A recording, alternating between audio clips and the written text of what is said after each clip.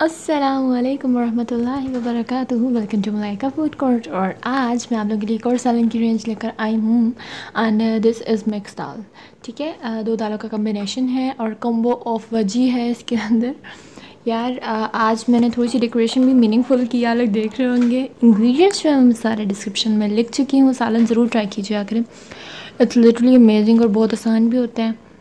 So here I have taken about एक प्याली मसूर की दाल एक प्याली खिचड़ी की दाल छिलकों वाली carrot so here I have taken about two T मीठा सोडा इनको आपने भिगो देना है, ठीक है? भिगो के मैंने रख दिया था ओवरनाइट इसे और उसके बाद अभी आप देख रहे हैं सारे स्पाइसेस और सारी चीज़ें मेरे सामने पड़ी हुई हमने डाल देनी है दालें अंदर, ठीक है? अब ये दोनों दालें मिक्स हैं, भिगो के रख दिया था, ठीक है?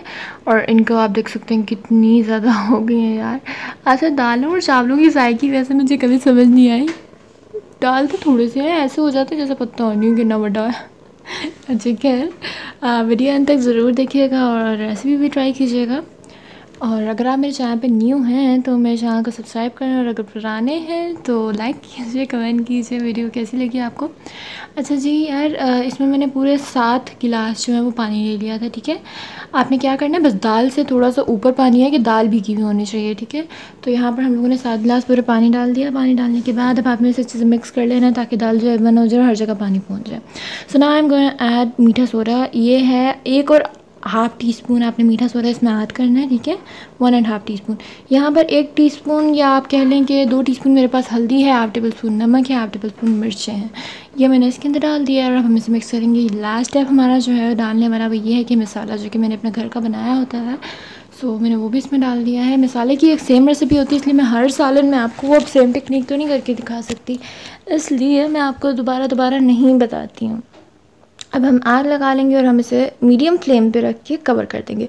कवर करने के बाद हम लोगों ने इसे छोड़ दिया है करीबन आप कह लें बीस मिनट के लिए, ठीक है? तो बीस मिनट जो है उस पर इसका ये हाल है। थोड़ा सा हम लोगों ने क्योंकि फ्लेम जो है वो कम रखी हुई थी। सही है? तो अब हम लोग थोड़ी सी में फ्लेम को थोड़ा सा बढ़ा के इसको वापस कवर कर देंगे। कवर करने के बाद अब हम इसे छोड़ देंगे। कितने सेकंड्स के लिए, सोचिए। अच्छा खैर सेकंड्स के लिए तो नहीं छोड़ना आपने आधे घंटे के लिए छोड़ देना ठीक है?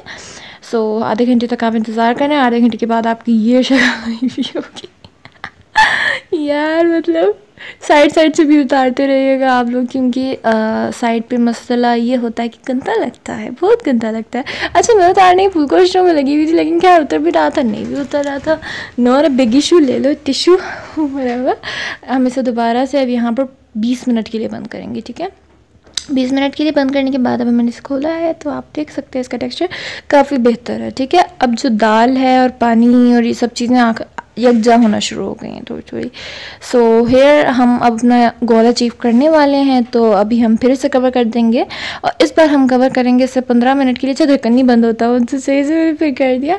अच्छा हम इसे पंद्रह मिनट के लिए कवर करेंगे, पंद्रह मिनट के बाद। अब दाल का टेक्स्चर आप देख सकते हैं मैं थोड़ा सा आपको घुमा के दिखाऊँ अगर तो काफ़ी तिक तिक हो रहा है। लेकिन अभी भी कुछ पॉइंट्स बाकी हैं इसमें तो वही gonna cover it again after while और सब्सक्राइब कीजिए मेरे चैनल को अगर आप लोग हमें वीडियोस अच्छी लगती हैं। वेल हम इसे दोबारा से कवर कर देंगे ठीक है? क्योंकि अभी हमें कंसिस्टेंसी थोड़ी सी और तक चाहिए है। सो so, दाल में मज़े की बात ही होती है यार थोड़ी देर लाइक आपकी दाल बन गई है ना आप इसे एक नाइट स्टैंड के लिए छोड़ देंगे। तो कल जब आप उठेंगे तो वो ऑलरेडी खुद ही ना थोड़ा पोरस पोरस मिक्सचर बना होता है कि मतलब पानी नहीं रहता। अच्छा यहाँ मैंने इसके अंदर दो टीस्पून काली मिर्ची डाल दी हैं, ठीक है? और इसके अंदर दो टीस्पून मैंने गरम मसाला डाल दिया। अच्छा गरम मसाला चिपक गया था यार, ये दोनों मेरे घर के बने हुए हैं, ठीक है? घर की फिसी काली मिर्च है, घर की ही ये बनाया हुआ गरम मसाला। इंशाल्लाह रेसिपी आप लोगों से ज़रूर शेयर करूँगी। सो so, अब हम लोगों ने इसे अच्छे से मिक्स कर देना। हमारी दाल की जो कंसिस्टेंसी मुझे चाहिए थी आप लोग देख रहे हैं कितनी थिक है और कितनी यमी लग रही है।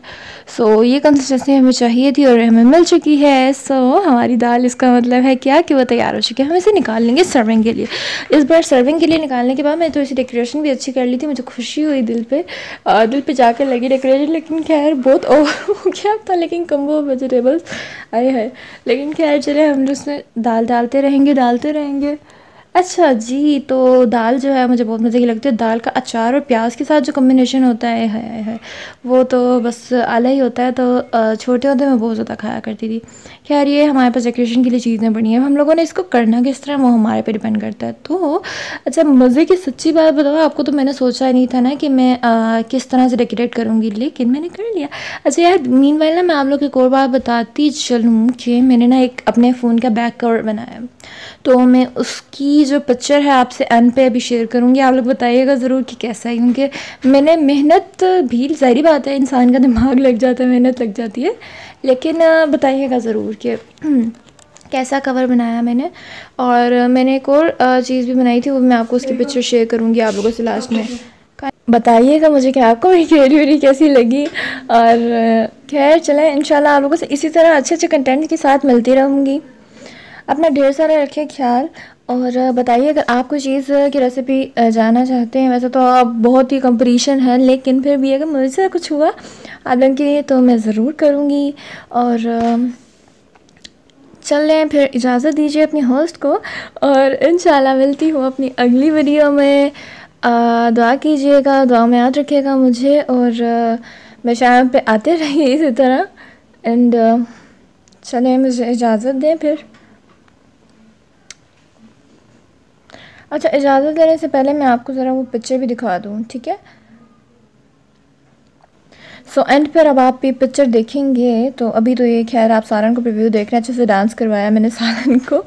खैर मैं यहाँ पर अब वो डालती हूँ अपनी वीडियो तो ये है सारा आ, ये थोड़ा सा ट्यूटोरियल है जो मैं आपको दिखा रही हूँ। एक आ, मैंने वर्डिंग स्टार्ट किया मतलब मैंने कुछ बनाना स्टार्ट किया है कुछ थोड़ा सा प्रोजेक्ट है तो ये आप लोग देख लें। लेकिन आ, साथ में जो पीछे आप फर वाला कवर देख रहे हैं ना और ये साथ में हार्ट देख रहे हैं ये दोनों मैंने बनाया। तो इन मैं अगर आप लोग कहेंगे तो इसका एक ट्यूटोरियल भी बना लूँगी। सो so, आप लोग को पसंद आया होगा और इसी तरह करके मैंने सारी जो चीज़ की थी सो so, इंशाल्लाह इजाज़त दीजिए। कमेंट्स में बताइएगा ज़रूर। सो अब मैं पक्का वाला चलती हूँ। अल्लाह हाफिज़, ख्याल रखिएगा अपना।